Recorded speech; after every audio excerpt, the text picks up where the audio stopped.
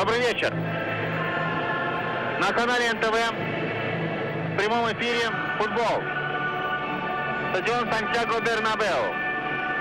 Сегодня здесь московский «Спартак» проводит свой второй по счету матч первой групповой стадии турнира Лиги Чемпионов. Матч, который каждый может считать либо самым главным, потому что он против, безусловно, главного соперника. «Спартак» сегодня играет против самого титулованного клуба мира. Встречается. Булатов. Нет, не игры, можно бить. Криниченко. О! Штанга. Тихонов. Подбирает мяч. Опасный момент. Продолжается атака. Титов. И выше ворот. Да, чего у Криниченко не отнять, так это видение поля. Посмотрите еще раз. Получил мяч на грани офсайд. Это совершенно случайно произошло. И Шведой вырезал мяч в дальний угол так, что едва-едва не попал в обнаженный дальний угол. Сильный прямой удар. Резанный такой. Здорово получилось. Ковтун отобрал мяч, но не пошел вперед. Данил Фандю ускоряется. Тихонов увидит его Криниченко. Пас на Тихонова. Можно забивать. Ну!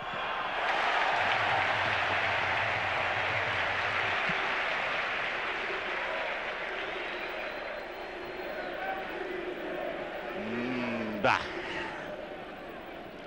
Ну, конечно, не стопудовый голевой момент.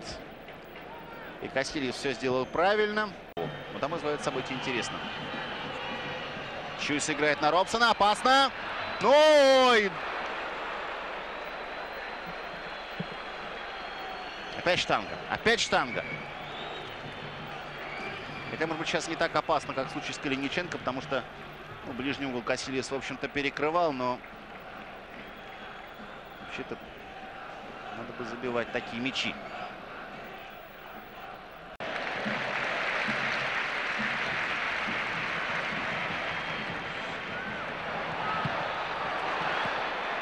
Снова опасная атака и от рук Кассильеса мяч уходит за пределы поля.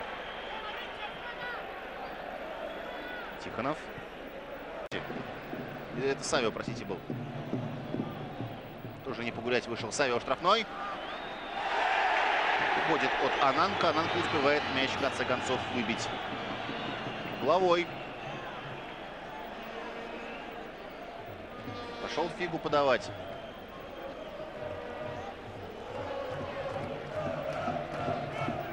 Это Карлос. Опасный момент. Эльгера еще становится 1-0. Ну что тут поделать.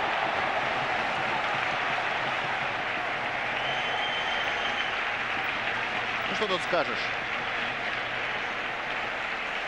Наступил Спартак на те же грабли, что и все прежние команды, игравшие с Реалом. Нельзя расслабляться. Класс игроков Реала очень высок, понимаете?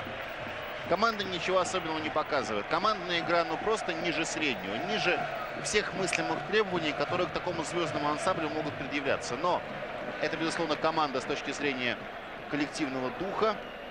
И это, безусловно, большие мастера. Вот Эльгири проиграли касание, и все, и получаете.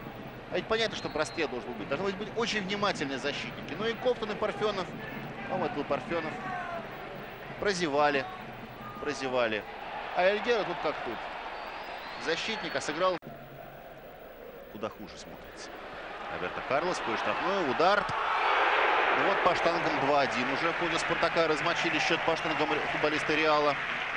Парфенов. Небрежный пас. Небрежный пас. Фигу. И Кофран играет небрежно. Фигу идет к воротам. Тимонов блестяще играет ногой. И Парфенов не позволяет мячу выйти на угловой.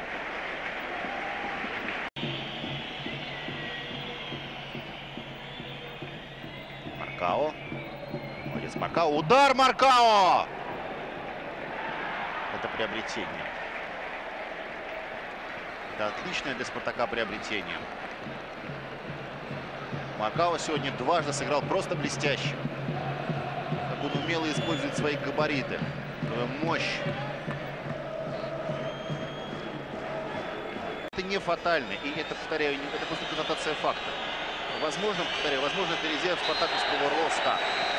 Но вот в сегодняшнем матче все это не получилось. Сегодняшний матч Спартак проигрывать был не должен. Но проиграл 1-0. Мяч провел Иван Эльгера. в начале самого второго тайма, сыграв на опережение спартаковской штрафной. И на этом телекомпания НТВ и ваш комментатор Василий Уткин заканчивают репортаж из Мадрида.